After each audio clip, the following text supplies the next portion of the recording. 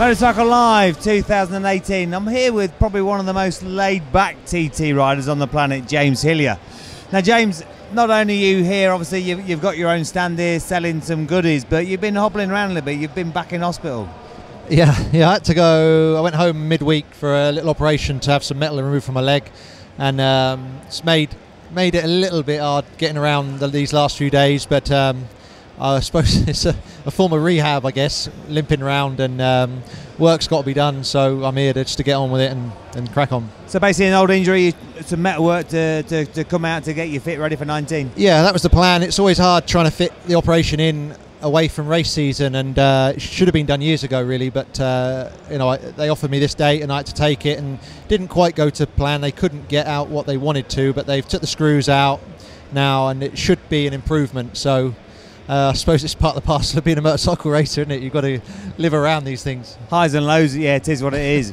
right now, of course, you've been with the same team for quite some time. You've been riding the Kawasaki's. You know, you're, you're, kind of the official, really, the official guy that's been, uh, you know, sort of uh, showcasing the, the ZX10 for, for quite some time. Are you staying with the same team for 10? At the moment, that's the, the plan. It's not a sealed deal as yeah. yet, but um, that's the the plan. You know, I still I believe in the team. I believe in myself, and we haven't quite had the got the best out of it yet, but uh, it's tricky because I've been there for so long. I kind of get itchy feet a little bit, and I kind of want to feel what the sort of grass feels like on the other side. But whether you know, it's I, I don't know. I really don't know. It's sort of a funny, funny thing, really. And you hear horror stories and speak to other riders. You know, they try something else, it doesn't work, but it's better the devil you know, as they say. And um, we're just working now to get that finalised and, and, stay put, really, and, and kind of carry on where we left off, really. Now, of course, you know, a very successful team at BSB, and you know, it's a great package. And I honestly, you know, we've spoken about it before, and you said you, you probably wouldn't be quite sure you got to the end of your career and you hadn't tried something different. But if you're happy, hey, you need to be right in within your own mind to be fast anyway.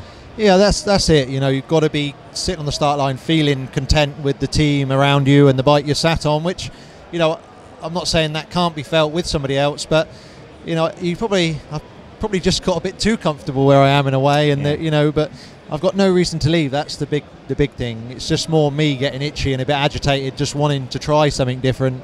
Um, the team's great, and we've grown together, and, and you know, it's a strong team.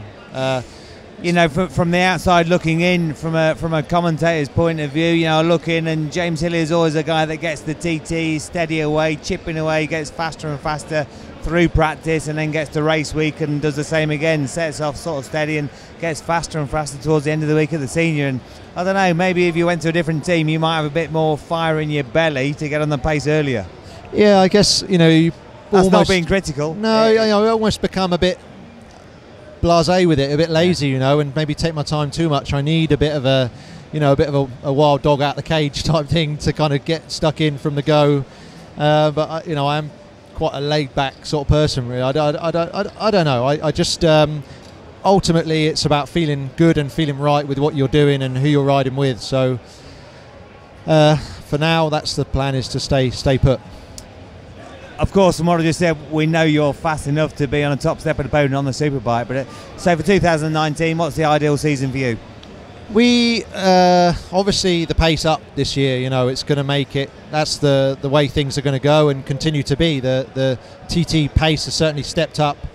Dean and Peter sort of taking it to the next level, but the way I look at it as uh, the 600 pace, my, my, my riding was good and, and I can run it on the 600 and I believe totally if the bike's good then I can take it to them on the big bike. It's, um, it's just about having, having everything as good as it can be and feeling confident enough to go with it and then the times come for sure. So obviously you've had a bit of maintenance done. How long are you going to be out of action before you can throw your leg over and have a spin around a, a racetrack? a couple of weeks, hopefully. I'm. Uh, I want to get back out. I'm itching to get back out on the enduro bike, and it's a little bit of a blessing in a way because the the rod's still in, which means the, the bone still has strength. I was really yeah. paranoid about it being weak and then not being able to ride for months, possibly. So at least now I can get out riding sooner, and um, it won't hold me back too much. Well, hopefully we'll see you back where you belong, of course, on that Kawasaki and uh, getting towards uh, getting towards the TT, of course, and, and being very competitive as usual. Good luck for 19. Thank mate. you. Thanks.